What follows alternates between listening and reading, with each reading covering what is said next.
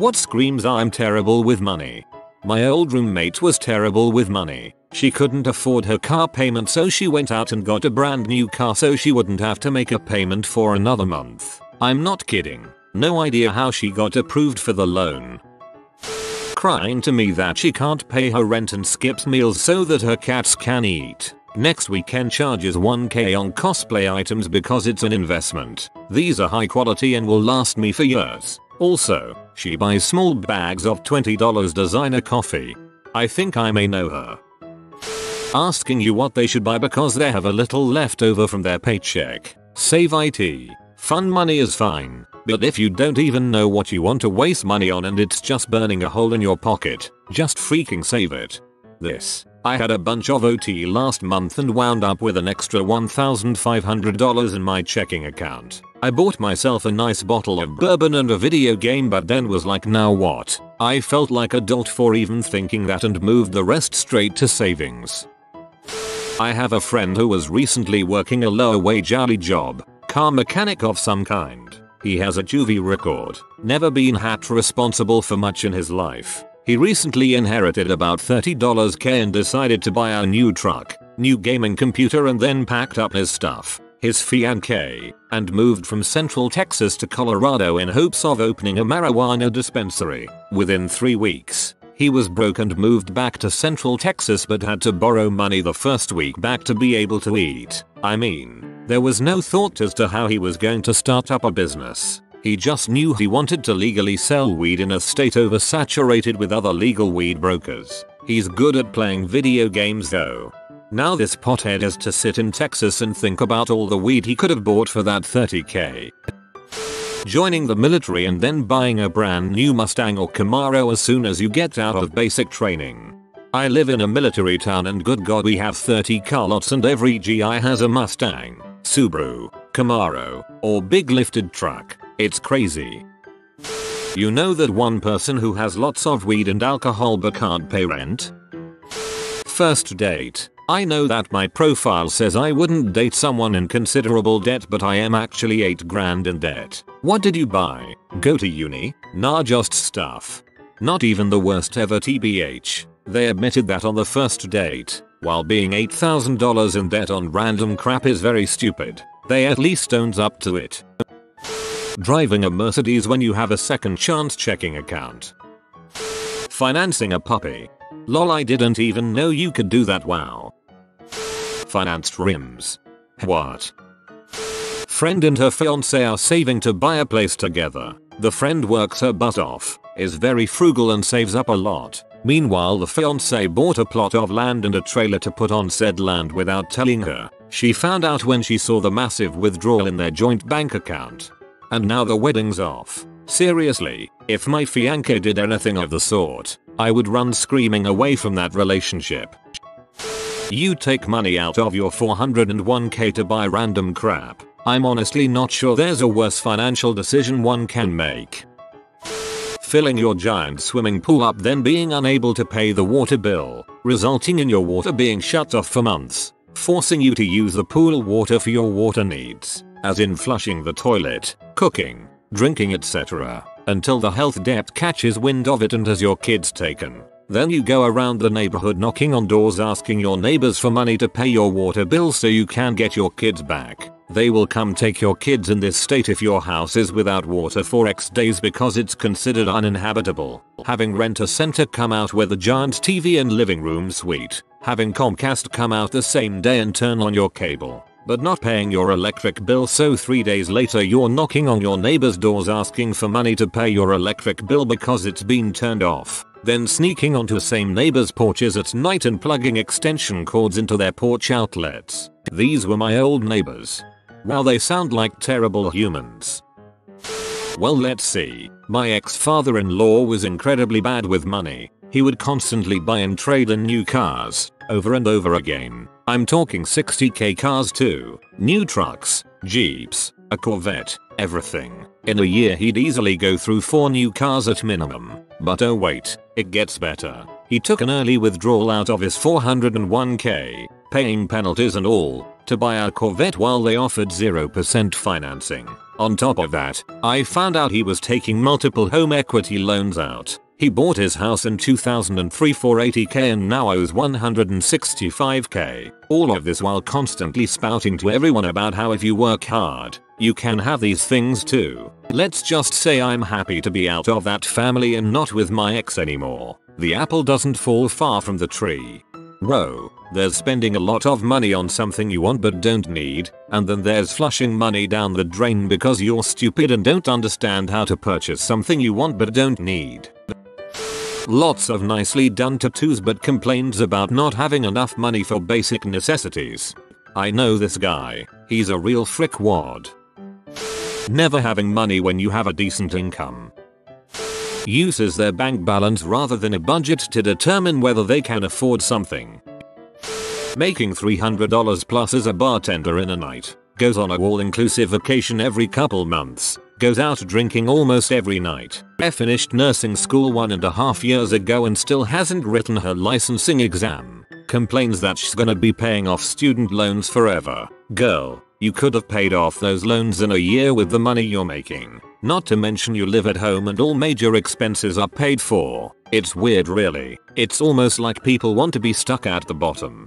Pretty sure of she doesn't take the exam soon she's unable to take it without going back to some type of school.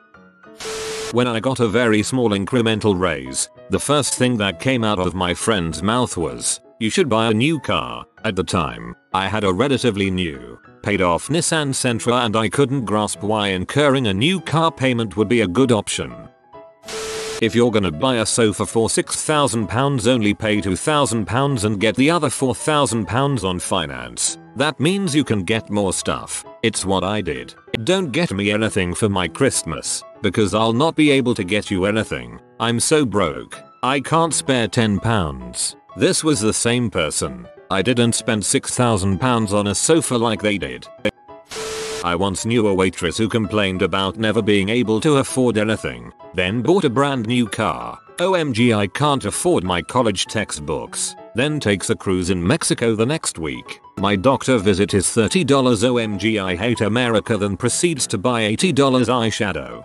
Reminds me of a friend who would constantly complain about having no money for food that week but would boast about how much he spends on weekends drinking and partying. Joining an MLM. Only $2,000 for my starter kit? Great. But I learned that back in the first two weeks.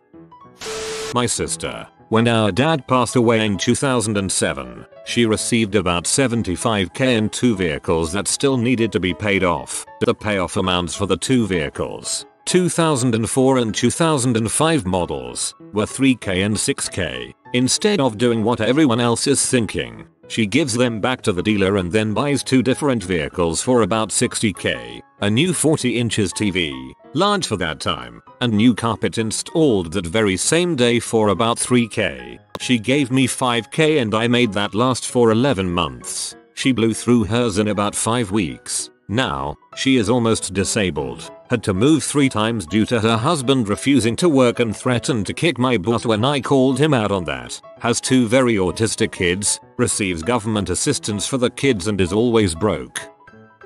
I got my living room set at Rent-A-Center. A formerly $100 K car, while it may have depreciated to now being cheaper than a new Camry, the maintenance and mechanical parts have not. S-Class Mercedes from 2002 aren't exactly known for their reliability. SL500 2003. If you own one of these wonderful cars you either must have access to an independent shop to fix it, good mechanical skills or lots of money. They are a thrilling vehicle to drive especially with the top down on a sunny day. My bank account. I had a substitute teacher when I was in middle school who told us not to do what she did and sign up for like 10 different credit cards. Even as a kid, I thought that was excessive. My brother-in-law can't afford therapy for my 8 year old nephew's neurological and learning disorders, but he can buy a motorcycle to add to his collection. That's beyond fricked. Dude at work barely staying afloat when he was the sole provider of wife and kid. Wife gets a job, dual income. Situation is even worse now, always complaining about bills. Either him or family eats out multiple times a day. Dude just bought a brand new 50k truck the other week. The other day he said he doesn't know if he'll be able to keep up with bills. A mother who comes in to speak to the teacher of one of five children to tell her she's finding it hard to afford to feed her family what with having to pay for six mobile phone contracts. My wife was the teacher which is how I know about it. Struggling to pay for bills. Priorities instead. 1. Latest iPhone. 2. Overseas holidays. 3. Branded clothing makeup to shoes. 4. Expensive car. Talks about their 293,928 different loans. I know 5 people that fit this exact description, comma brand new Subaru WRX, comma brand new iPhone X, or newest flagship phone every year, comma hundreds of dollars each week spent on vape gear and juice, California minimum wage job, $11 an hour, comma lives at home with parents, which may save them money in the long run, but doesn't do them any favors with their present spending habits. I have learned from others never to let them borrow money from you. They won't just never pay you back, they will get pissy and threaten you if you try and press the issue. Apparently their families are connected to Triad, which here in Irvine CA is an actual possibility, so you have to actually be careful if you don't want strange things to happen. Ostentatious displays of alleged wealth aka flossing. People who don't have a lot of money but who want others to assume they do often drive the cheapest cars offered by luxury auto brands and or festoon themselves in branded clothing and accessories that scream branding with huge and or repetitive logos. A good example is a Louis Vuitton or Coach bag versus a Hermes Birkin bag. The LV or Coach bag seems expensive to most people and has the brand logo plastered all over it. The Hermes bag is both legitimately and shockingly expensive, and even having the opportunity to buy one isn't a guarantee. Yet the Birkin really has no branding on it at all. If you're rich enough, you'll know what it is without having to have the brand screamed at you. Money talks, wealth whispers, and power is silent. Once you have money you really wouldn't give a crap what others think about making well into six figures but regularly having to borrow $200 from your children to make it to the next payday. Thinking credit cards equals free money. I learned a valuable lesson very young from an old cartoon Rocko's Modern Life with a credit card episode. Spends wildly and then gets everything repossessed. Somebody that works a lot but never has money because they spend it all. So not only do they never have time because of work, but when they do have time, they don't have any money. Gambling to try and earn money. Making barely over minimum wage and has a $65 plus K truck with a lease and an insane interest rate but still claims it was a great deal. A $50 K truck in front of a trailer park. They don't have a plan to get rid of debt. Pet stores. Petland and furry babies will finance for just $4,200 at 30% interest. That little Morkisknadle is yours. Rent to own places like Rent a Center or Aaron's. If you like spending $2,400 over 2 years for something that costs $300, be my guest. Buying inventory for your MLM business. Anyone you see using an ATM in a strip club. I bought my buddy a couple dances for his birthday a few months back, but had no cash. $20 ATM fee. Not to worry though, Schwab still reimbursed at the end of the month. I would have just gone to the bank around the corner if I didn't have Schwab. Moving to them was the best decision ever. Holy crap, my bill could fill up this whole page. Couple of bankruptcies, multiple car repos, always gets his vehicles from buy here pay here places, meaning he's paying a ridiculous interest rate for crap cars. Almost went to jail for falling behind on his child support, about $8k, was crying on his sister's shoulder, my wife, about how broke he is, then went on tell her about the $400 worth of fireworks he just bought for when the kids come over. My wife just finally stopped worrying about him because she finally figured out that he's never going to ever get it and his life is a wash rinse repeat cycle that he brings on himself. You've been spotted by the doggo of studying. Like this video for good grades for the next 2 years. If you are new to the channel, you can subscribe. I publish new videos every day. Until then, check another video. Or don't.